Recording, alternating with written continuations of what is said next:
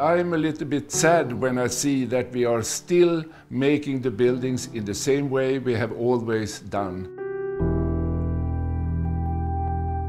Nowadays we are just focused on cost.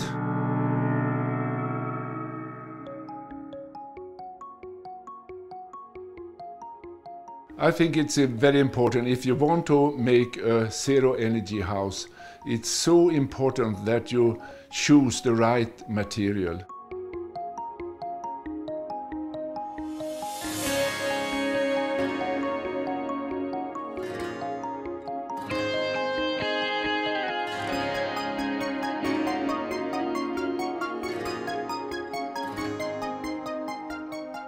If we want to change, the first step is to show good examples.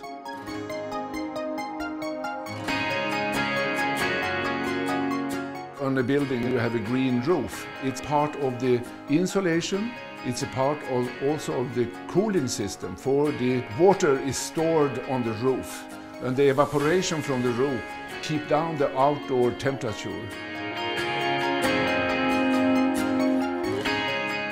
It's time to rethink uh, energy in the buildings. We have enough energy from the sun.